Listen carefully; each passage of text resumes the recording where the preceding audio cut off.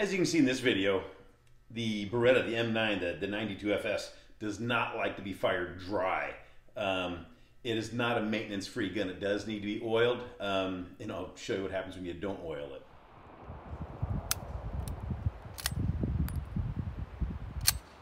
Failure to eject.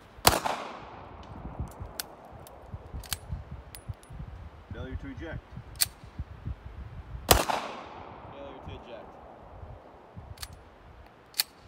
Failure to eject. Failure to feed. Smokestack. Another one. Another one. Okay. We'll just take this down as far as a field stripping. That's the, the manual says as far as to go for normal cleaning.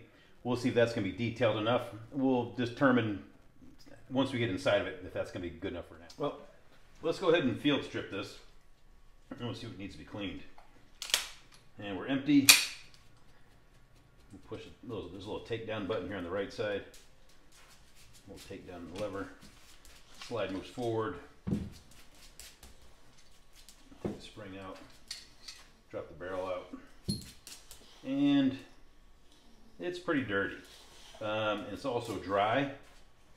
So let's hope just a, a good cleaning and oiling gets this thing back to where we need it to be.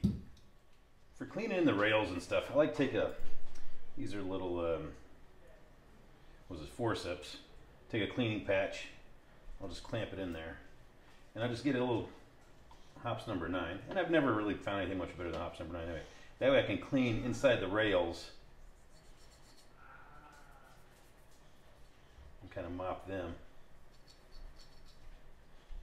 How about that? Took that didn't take long to get that white patch real dirty. But that way clean inside the rails. And then we can also take a, a clean patch now and wipe them out.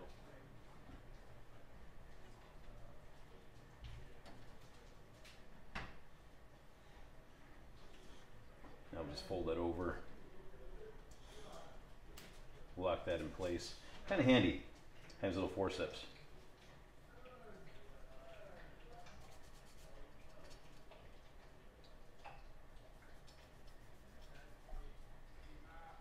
Maybe we'll keep wiping it out until it until it comes clean.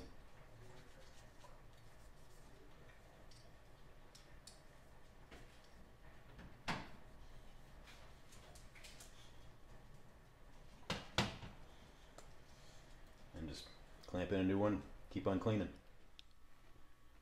Some of the key points we really want to be sure that you do oil. You're going to be in these in these guide rails where the slide moves back and forth, and you can see there's some silvery spots. You can see the shine. When you once you get your gun opened up, you can see where to apply the oil. Hit all those wear spots, but be sure to get those guide rails. You have your your uh, your your your guide rod and your spring that moves back and forth. Put a little bit of oil on that guide rod.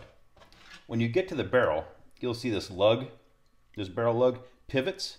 There's a pivot point. There's also a friction point back here. And be sure to get on these two arms on top of the lug. They're going to slide within the that uh, frame rail, or I'm sorry, within the slide rail. And then also put a little bit of lubricant on the barrel itself because that moves within the slide. Those are the key points. Once you get the gun apart, look and see where there's ever wear. Add a little bit more oil if you, if you need to. You always wipe off the excess. Now that I got it all cleaned up, I'm just going to oil those spots where you see that metal to metal wear. You see the, see the shiny spots? That's where you're getting some wear and that's where you're getting some contact. And that's where I'm going to apply just a little bit of gun oil.